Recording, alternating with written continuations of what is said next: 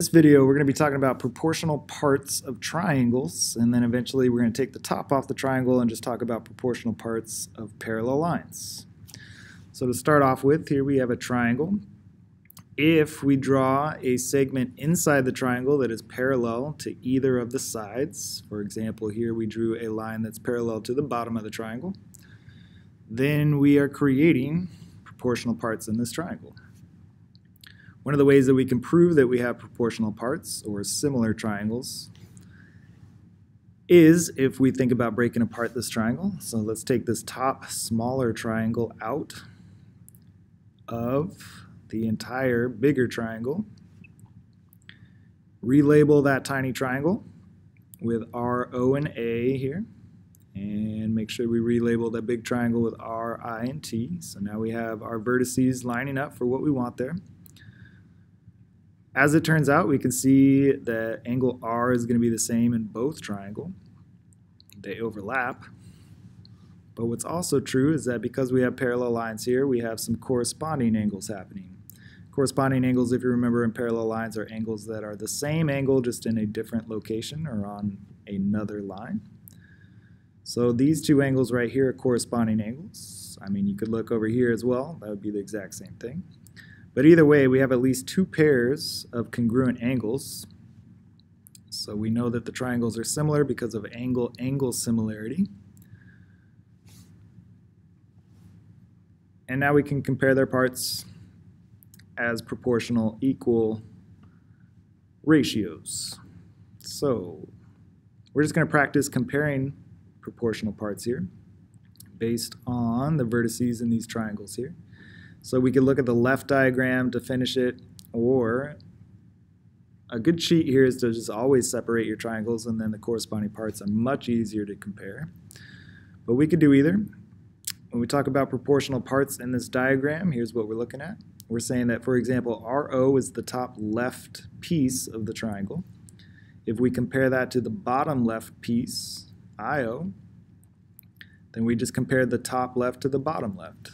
So looking at another side of the triangle over here, as long as we keep corresponding parts lined up, for example, continuing to compare the top right to the bottom right would correspond to the top left and bottom left.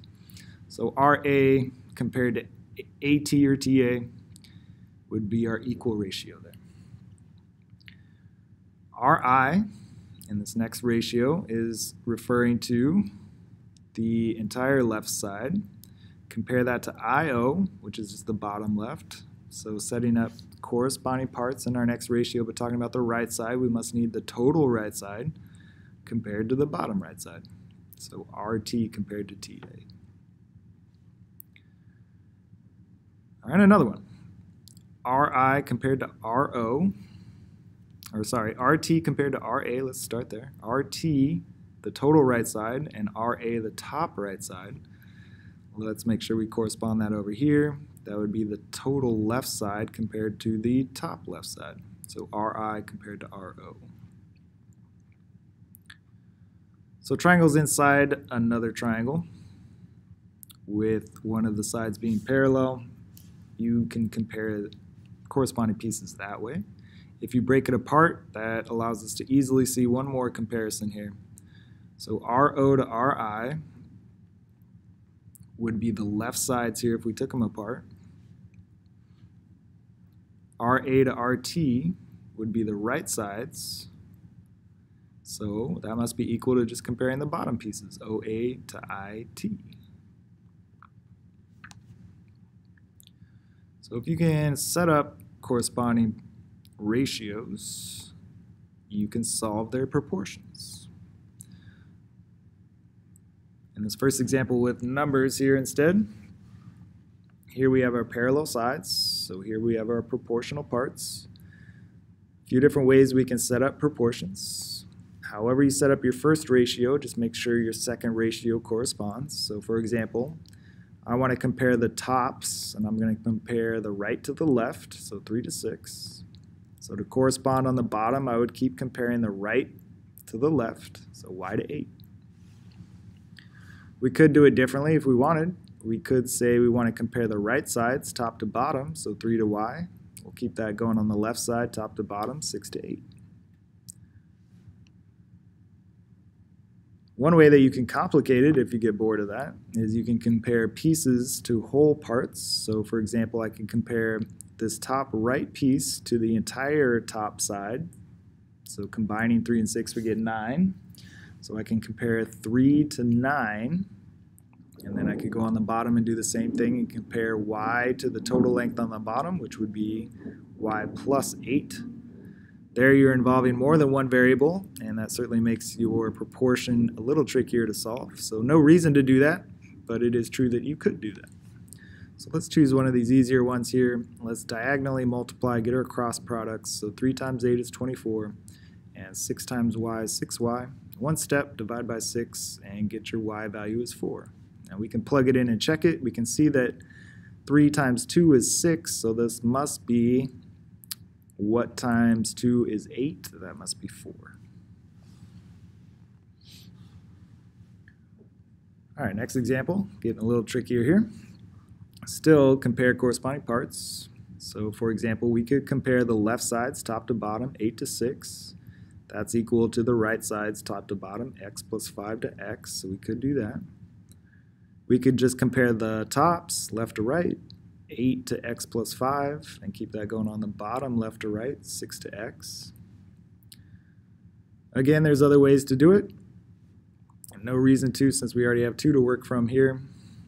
Cross multiply 8 times x is 8x. 6 times the quantity x and positive 5. Make sure you distribute. 6 times x is 6x. 6 times 5 is 30. Subtract 6x from both sides. Divide by 2, and your x value is 15. All right, one more time, the most challenging here. As I suggested earlier, sometimes separating your triangles makes it a little bit easier. So that's what we're going to do in this one. We're given this value of 8 here, this bottom length on the left side, and we're told that the total length is 12. So we can use a little bit of common sense here and know that what's left over here on the top must be 4 in order for that side to add up to 12. So if I take this top triangle off, I have a left length of 4, bottom length is y, and right length is x. My total big triangle had a length on the left of 12. I punched a hole out of that, but that was 12 right there. On the bottom, I have a length of 18. And on the right side, combining these two, I have x plus 10. So now I can compare left sides to right sides, or bottoms whatever helps us solve for what we need. So if we need x, well, we have 4 compared to 12 here. That's going to be our first ratio using two values that we know. And we can compare that to the right side, x to x plus 10.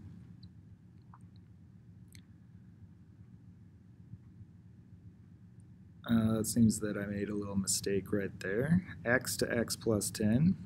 Let's see if I did another one differently. Uh, another way that we could do it is rather than separate it to solve for x, I could do what we did up here. Just compare parts to parts. So left side to right side on the top, 4 to x, and bottoms 8 to 10. Or bottom to top on the left side, 8 to 4. Bottom to top on the right side, 10 to x. So I'd rather use those for sure. Uh, cross multiply, our cross products are going to be the same. Either way, it's 8x equals 10 times 4, which is 40. Divide by 8, and we get x is 5. To solve for y, again, you could set up 4 compared to 12, the left sides, and then compare the bottoms, y to 18. Cross multiply, 12 times y is 12y. 4 times 18 is 72. Divide by 12 and we get y is 6. All right, let's take a look at our next diagram. These are just parallel lines, but if you were to extend these lines, they would intersect here and make a triangle. So essentially what we're doing in this diagram is looking at what we did in the last examples, but we're just taking the top off the triangle and we're adding a couple more parallel lines. So that doesn't change conceptually what we're doing. We're still going to be comparing corresponding points or corresponding lengths. You could fill in this diagram with these letters and then we'll be able to complete these ratios. So AN to NH, that's just comparing the top left to the bottom left. So to correspond, we must compare the top right to the bottom right. So VI to IS. If you think you got it, you can go ahead and complete these ratios and then check your work. Otherwise, I'm going to keep explaining it. HN to HA, HN to HA would be the bottom left to the total left. So to correspond, we would need the bottom right to the total right, SI to SV. Our third ratio here, VI to VS. VI to VS is the top right compared to the total right. So to correspond, we need the top left compared to the total left, AN to AH. And then lastly, HN to SI, HN to SI. So bottoms left to right, we must need the tops compared left to right. So AN to VI. So hopefully you see that that's very similar to what we were doing in the previous examples. And we just continue to do more of the same thing here To solve for x in this, I can compare the top left to the bottom left, 15 to x, and do top right to bottom right, 12 to 8. Cross multiply, x times 12 is 12x, 15 times 8 is 120. So one step divide by 12 and you get your x value is 10. Other options we could use if you chose to. In the next example, here we could compare. Uh, let's go right to left on the top. X plus 1 to 6, so we would go right to left on the bottom, 2 to 4. So there's one. We could go top to bottom on the right side, x plus 1 over 2. Then we go top to bottom on the left side, equals 6 over 4. Either way we do it, they all work just the same. Cross multiply to solve, so we got 6 times 2, that's 12. Our other cross product, though, make sure you distribute 4 times x and 4 times 1. So 4 times x is 4x, 4 times 1 is 4. Let's subtract 4 from both sides, and then divide by 4 and get x is 2. One more time, the only way to really make this tricky is to maybe think you don't have enough information. let's think a little bit here.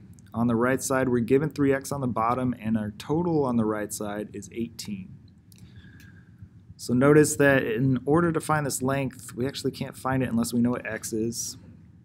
We could set up an expression, an algebraic expression to symbolize it, which I did here. It'd be whatever 18 is the total minus 3x would be the leftovers there. But again, that's maybe making it more complicated than what's needed.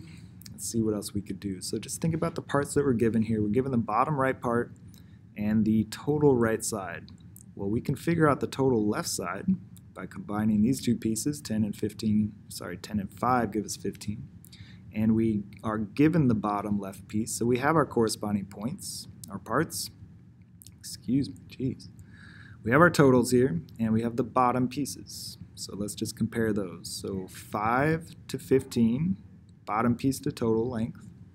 So compare that to the bottom piece on the other side, 3x compared to the total length of 18. Now we can cross multiply. 15 times 3x is 45x. 5 times 18 is 90. We can divide by 45 and find our x value is 2.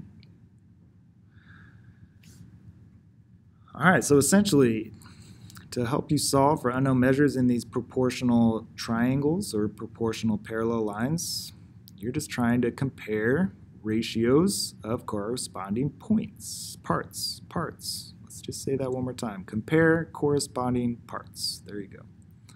All right, good luck comparing corresponding parts to solve for unknown lengths.